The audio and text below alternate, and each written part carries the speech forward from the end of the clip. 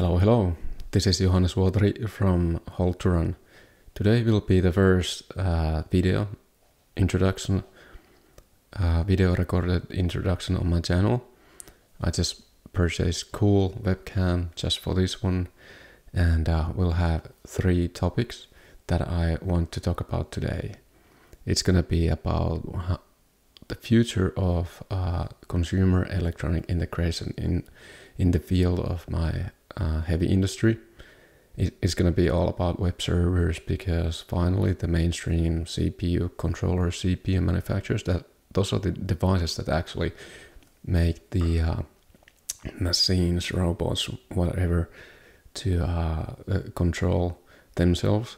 It's about the web server integration availability these days, and um, we're, we're going to be talking about AI, how it's going to affect my life and uh, how it's going to affect specific, specifically the mobile and the um, heavy industry safety engineering relate, related topics and uh, the future of the YouTube channel.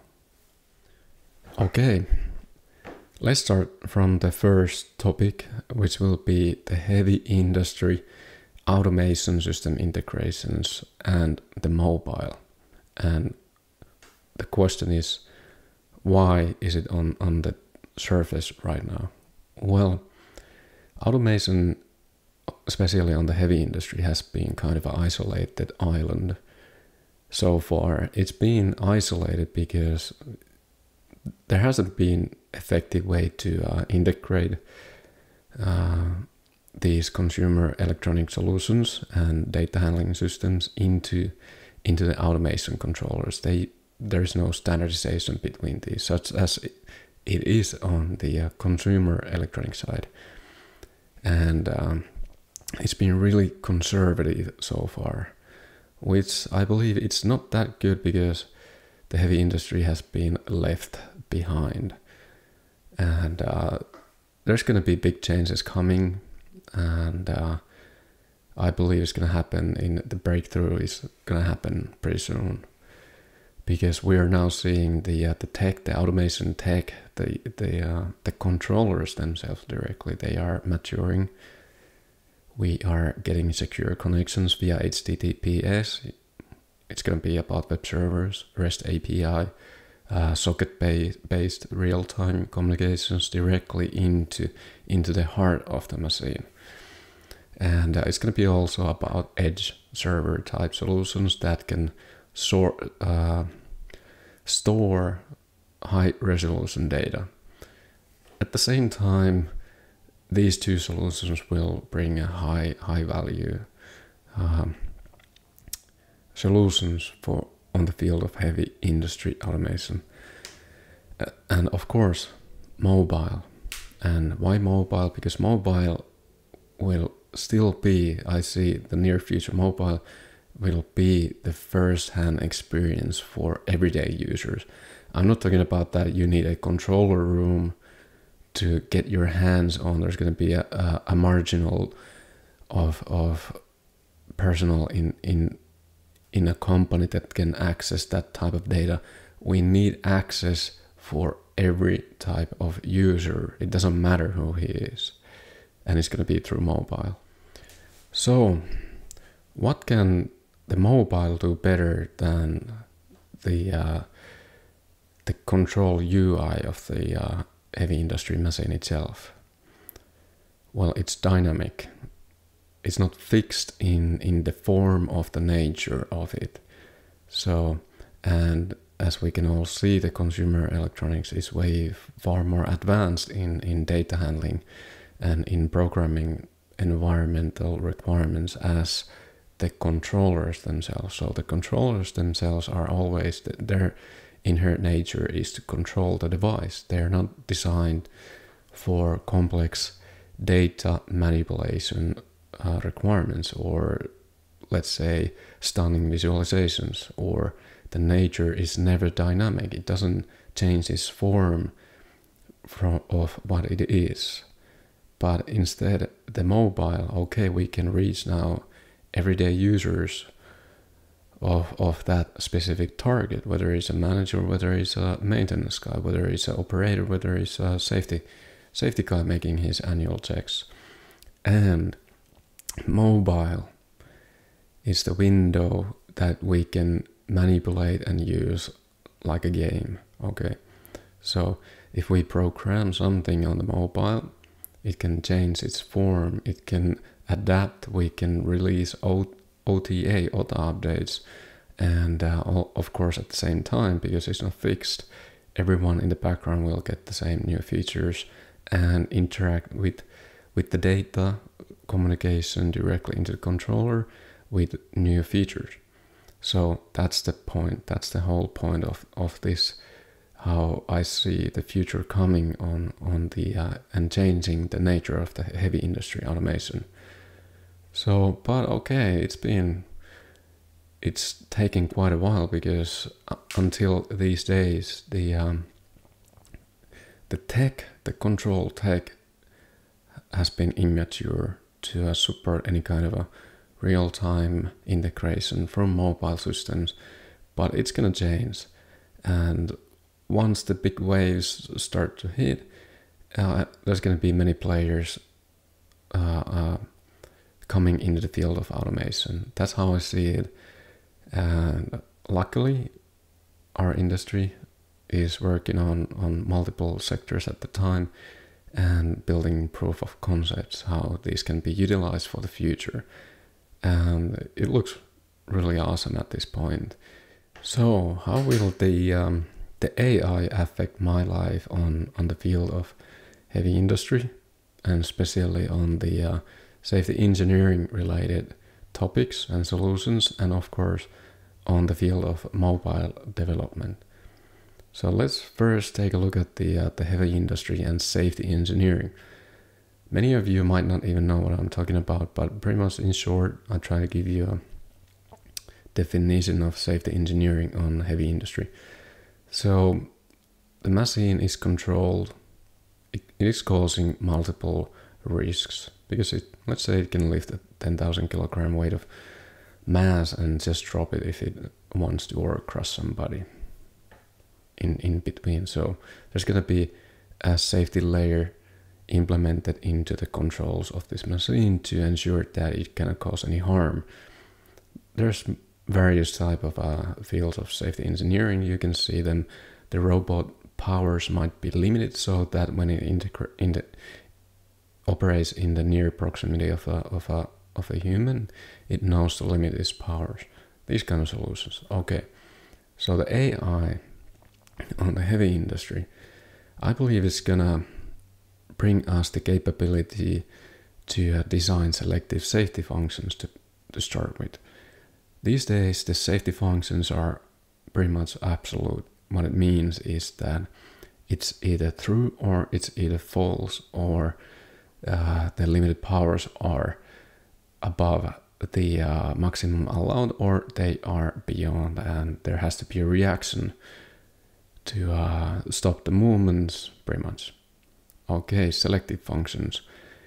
The safety function based on higher uh, analysis of uh, background running AI based, for instance, machine vision might bring us the selective operation and nature of the safety functions. It detects, it should do absolute uh, safety function because the uh, elements change the state, safeguarding the machine, but at the same time, there might be cross-conflict analytic methods being implemented and which are signaling the machine that hey you don't need to react now because there's no human yet involved in here. Or we've detected this is a higher uh, um, great human who can who knows how to operate within these dangerous circumstances. So it's not forced to make the safety function into absolute but at the same time upkeep its uh, limited functionality and uh, stay in between mode. So something like that possibly, or the safety devices themselves, which are pretty sophisticated these days. They have high high level anal- analytical diagnostics. might have these functions built in. So they make the decisions for us if we allow the AI to run in, in inside of these machines. So of course there's gonna be programming level solutions and uh, which the uh, machinery manufacturers can can design and teach and learn for that specific uh, uh field of hydraulics, electrics, or motor-based power uh, uh, supplies, generative systems. And how will the AI affect the, the mobile development? Well, the mobile development has different kind of a purpose as a solution, and uh, it requires a whole lot of a text input based code. And what we can al- already see that I'm I'm anxious to wait the um, the new version, for instance, for the Android Studio, because there's going to be AI AI uh, help, helping assistant implemented. That's going to be one of the coolest use cases because these days the uh, the pretty much the AI can produce you a, a short glimpse and give you a concept of probable, probable, probable solution to uh, design your uh, uh, app or solution, or it can give you fast insight for the code uh, libraries that you need to use, and it can give you a fast con- concept and idea of the uh, how to build it. So this is something that I'm waiting because there is the libraries, let's say the the powerful libraries that that we should use to start with. I mean, we just don't know them all, and uh, if we, if we can get fast uh, insight of what to do, how to how to run it, even to get the uh, the sketch code sketch from the uh, editor itself to use the native methods, that that'd be super cool that in the let's say the next version of Android Studio, for instance, is gonna bring a whole not whole another level uh, for this use case. So there's so much of um, can the AI replace totally replace coders in in general? I believe they can start generating code, a mass, a let's let's call a mass of code in a fast phase, but then who's going to integrate that between the layers of uh, let's say in the full stack development? Who's going to integrate those into the uh, into the big picture? Who's going to talk with the customer? Who's going to who's to be the middleman between between the digital and the physical world? So that's going to be the coder or some human.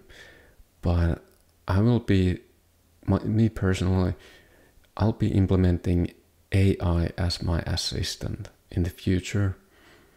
And uh, one big field that I see that I'll be using AI in, in the field of coding also is gonna be that's gonna be like the my personal assistant probably to integrate cross-platforms mobile applications.